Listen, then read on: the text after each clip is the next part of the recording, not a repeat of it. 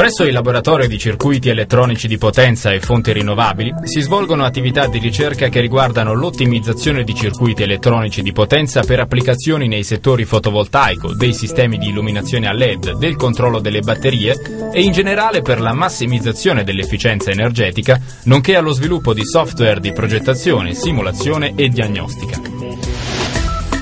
Il laboratorio è da anni sede di consolidate collaborazioni industriali con industrie di tutto il mondo, fra cui National Semiconductor Corporation, compagnia americana che ha sede in Santa Clara, California, ST Microelectronics, Magnetech, Elettronica Santerno, Roal, Astrid, Power One.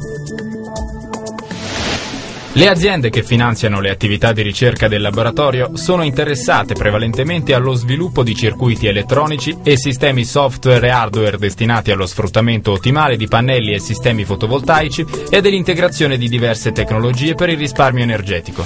Oltre alle attrezzature di calcolo per la simulazione e la progettazione, in questo laboratorio sono disponibili attrezzature per la realizzazione di prototipi di circuiti elettronici ed apparecchiature di misura di altissima qualità e precisione necessarie per i test sperimentali.